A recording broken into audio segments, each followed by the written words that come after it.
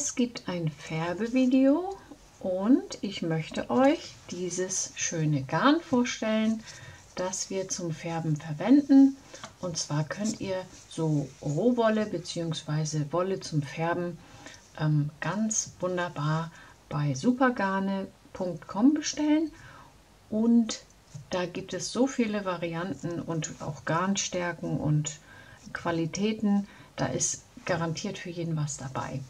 Also, das ist jetzt hier noch das ungefärbte Garn und dem nehmen wir uns gleich an. Ich möchte euch zuvor einmal die Seite zeigen. Ich habe hier schon meine Handschuhe an, nicht wundern.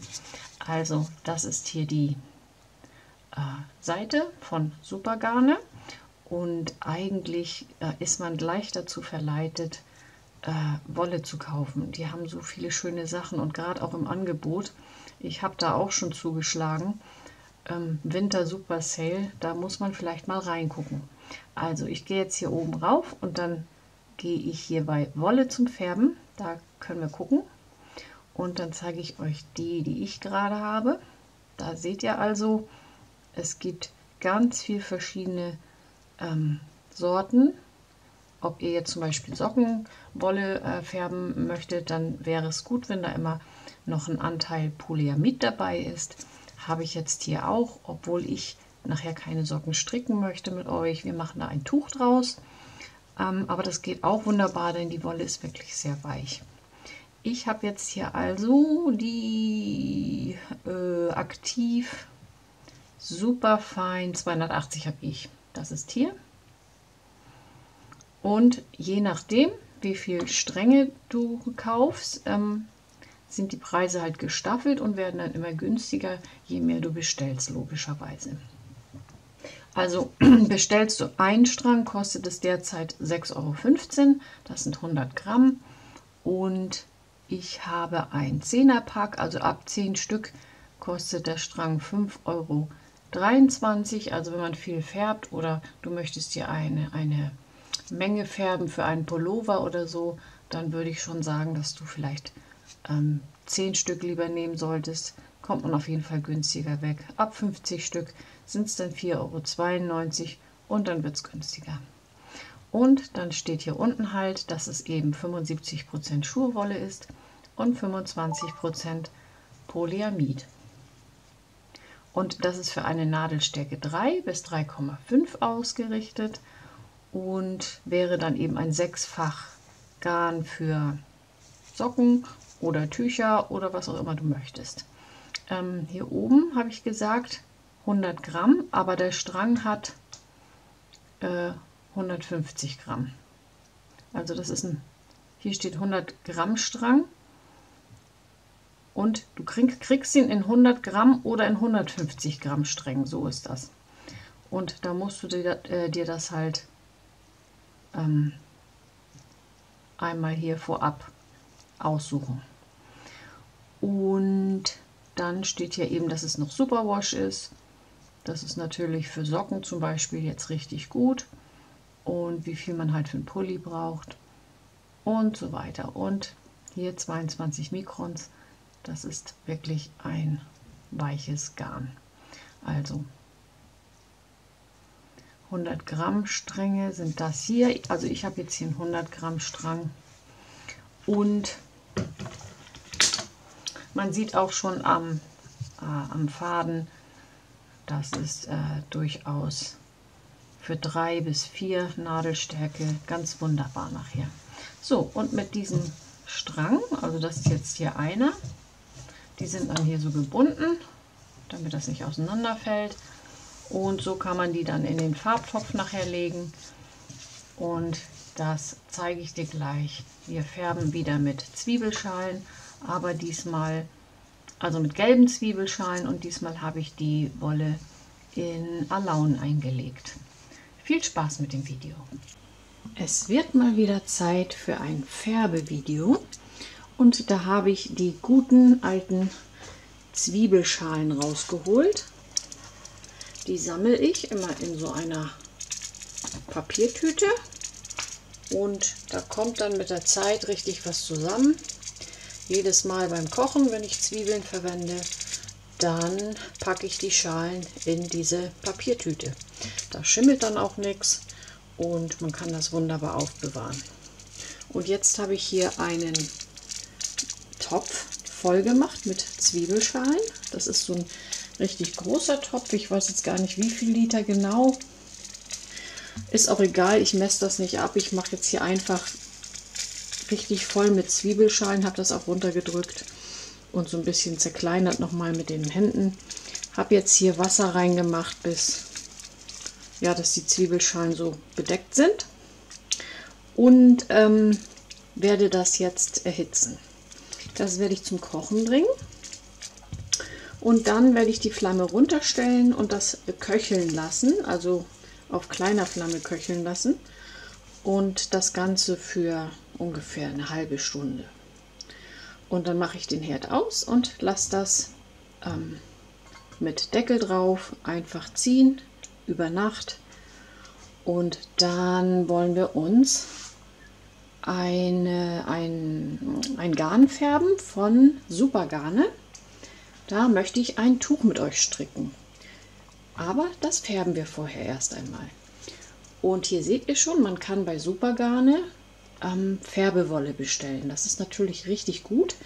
Da kannst du in verschiedenen Qualitäten und äh, Garnstärken ähm, bestellen. Und das ist jetzt hier so ein Pack mit 10 Strängen. Und das ist so ein bisschen so ein äh, dickeres Garn, also für Nadelstärke 3,5 bis 4 würde ich sagen. Und die nennt sich Aktiv Superfein 280. Und das sind immer 150 Gramm Stränge. Und eine hat 400 Meter, also geht schon sehr weit. Das ist 75 Prozent Schurwolle und 25 Prozent Polyamid. Du kannst also Socken damit stricken oder Tücher oder Pullover. Und ich möchte ein Tuch mit euch stricken. Das seht ihr dann alles nachher. Aber ich finde den Weg dahin schon mal ganz spannend, denn wir färben uns erst die Wolle für das Tuch. Und ich möchte versuchen, äh, mit den Zwiebelschalen, da habe ich ja schon Videos von gemacht, aber da habe ich immer Essig verwendet. Und diesmal werde ich die, äh, die Schuhwolle vorher einweichen, aber mit Alaun, also gebeizt mit Alaun. Dann denke ich mal, dass das kein so bräunliches Ergebnis wird von, vom Farbergebnis nachher, sondern eher ins Gelbe rübergeht. Aber das ist alles ein Experiment und wir lassen uns überraschen. Aber jetzt erst einmal der Anfang. Wir sehen uns morgen. In dieser großen Plastikschüssel werde ich jetzt Alaunpulver reingeben. Und zwar möchte ich vier Stränge darin über Nacht liegen lassen und ich werde dafür ähm, vier bis fünf Teelöffel Alaun erst einmal reintun. Ist immer so schwierig mit einer Hand hier. Also einen habe ich schon. Zwei, drei, vier. Mache ich noch ein bisschen. So, und jetzt mache ich hier lauwarmes, eher wärmer, also nicht heiß, aber auch nicht lau, so dazwischen. Ähm, werde ich jetzt hier Wasser reingeben und das Alaun darin auflösen. So sieht das nun aus. Ich habe jetzt äh, umgerührt und das Alaun hat sich recht gut aufgelöst und jetzt werde ich hier nacheinander vier Stränge A 150 Gramm darin einweichen.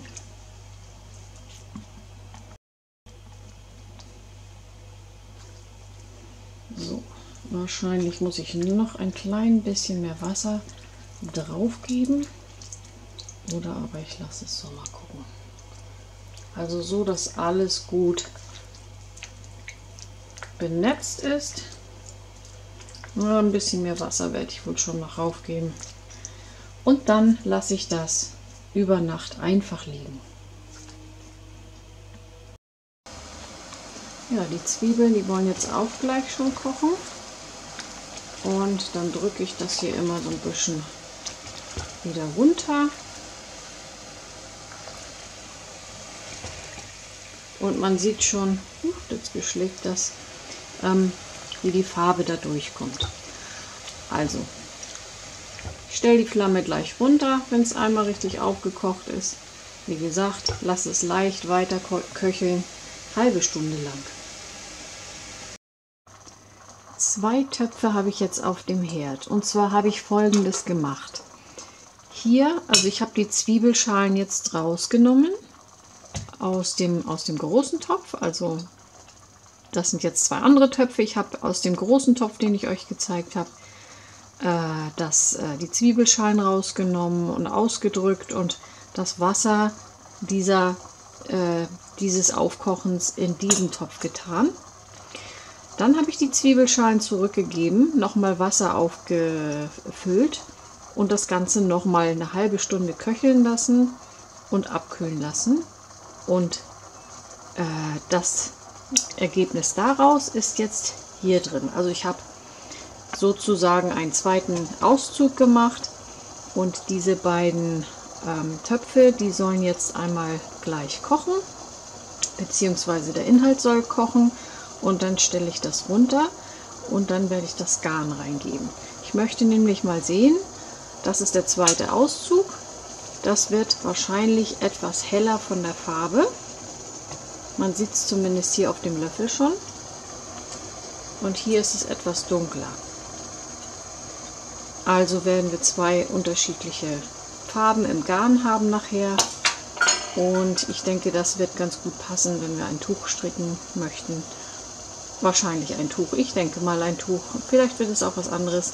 Auf jeden Fall werden die Farben gut zusammenpassen. Und ähm, das ist jetzt das Experiment. Das Garn habe ich hier drinnen. Und zwar habe ich jetzt auch ähm, das Wasser mit dem Alaun abgegossen und habe die Stränge nur ausgedrückt und nicht ausgespült. Also einmal gut ausbringen die Stränge, so dass sie nicht mehr so richtig nass sind, aber eben noch angefeuchtet oder feucht. Und so kommen die dann auch gleich hier in die Töpfe rein. So, da fängt das schon an zu kochen. Da werde ich das jetzt drunter stellen, damit das nur noch so ein bisschen köchelt. Und hier warten wir noch und dann werde ich die Stränge da reinpacken.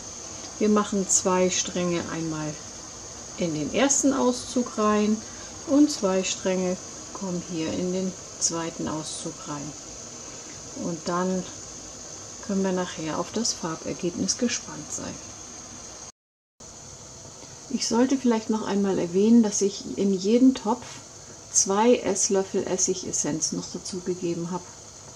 Einfach damit die Farben nachher ähm, in der Wolle bleiben.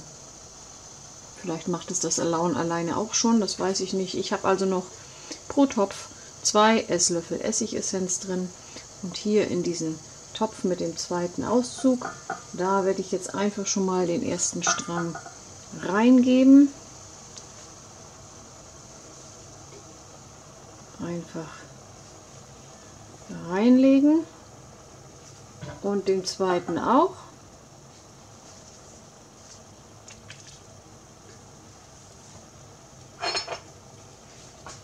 Und nicht mehr so viel bewegen. Ich werde es nur runterdrücken, damit alles wirklich benetzt ist. Und dann mache ich den Deckel drauf.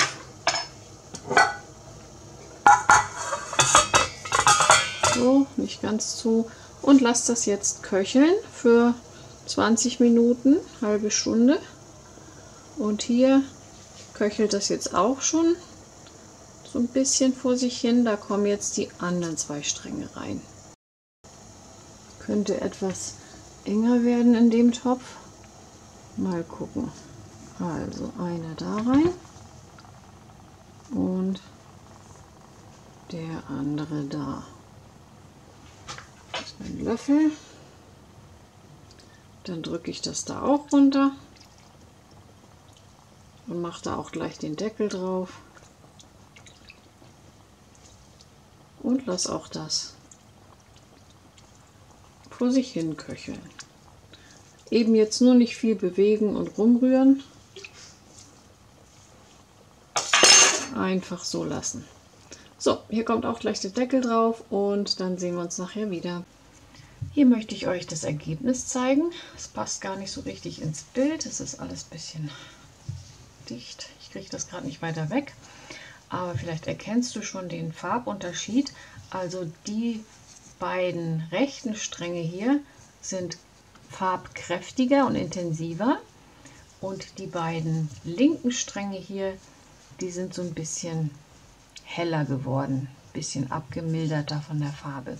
Der erste Auszug, das sind also diese rechten beiden Stränge, das ist dann schon ja, recht orange, orange geworden und auch nicht alles durchgängig orange, was ich sehr schön finde. Ihr seht, da sind immer so hellere, hier, so innen hellere Stellen. Das ist, weil ich das einfach so nur in den Topf gelegt habe und gar nicht groß rumgerührt habe. Und das ist ja auch der Effekt, den ich haben möchte. Das finde ich so richtig gut, dass nicht alles ganz gleichmäßig ist. Also hier seht ihr schon richtig dunkelorange und dann zur Mitte hin wird es heller. Und da habe ich schon richtig Lust drauf, was draus zu stricken. Und ähm, diese beiden Stränge, ich denke mal, da lässt sich einiges machen. Und die anderen beiden, ach so, ich hatte ja gesagt im Video, dass ich eigentlich hoffte, dass es ähm, ein Gelb wird oder ein, ein richtig schönes helles Gelb. Ist es mal nicht geworden. Ja, das ist halt die Überraschung beim Färben. Ich weiß nicht, was ich da verkehrt gemacht habe bei den, äh, Färb, beim Färben mit der roten Zwiebelschale. Ähm, da ist das Ergebnis ja nachher auch anders geworden, als ich eigentlich dachte. Aber gut, es ist Gelb mit drin, das zählt, das finde ich schon okay. Und diese beiden ähm, helleren Stränge, das ist dann doch so eher die Farbe, wie ich das schon von den gelben Zwiebeln, Zwiebelschalen her kenne. Aber auch hier siehst du, da ist weniger Farbe als hier. Und das ist nachher, das ist richtig schön. Hier seht ihr das noch kräftiger braun-orange. Und auch aus diesen beiden Strängen machen wir uns ein Tuch oder irgendwas, da lasse ich mir noch was einfallen. Und dann nehme ich euch für die Anleitung wieder mit. So, also das sind die Ergebnisse, so sieht das aus. Und wer weiß, wie es ausgesehen hätte, wenn ich das nur in Essig eingelegt hätte. Wahrscheinlich dann eher so. Vielleicht hätte ich das in Alaun auch noch länger einlegen müssen oder anders verwenden müssen, damit es noch heller wird. Auf jeden Fall bin ich zufrieden. Die Farbe ist wirklich schön und sie hat so ganz viele äh, Nuancen in den Strängen. Die muss ich jetzt noch zu Knäulen wickeln. Die sind ja also jetzt ähm, gebadet. Nachdem ich sie aus dem Farbtopf geholt habe, habe ich sie ja ordentlich ausgespült und äh, zum Trocknen aufgehangen. Die sind jetzt trocken. Ich werde sie zu Knäulen wickeln und wenn ich dann mit, den, mit der Wolle gestrickt habe, wird das Gestrick natürlich auch noch einmal gebadet und gewaschen. Da wird es vielleicht noch ein bisschen Farbe abgeben, aber ich denke nicht mehr viel, so wie ich das von meinen bisherigen Färbungen kenne. So, dann hoffe ich, du hattest Freude und wir sehen uns beim nächsten Mal. Bis dahin, winke, winke.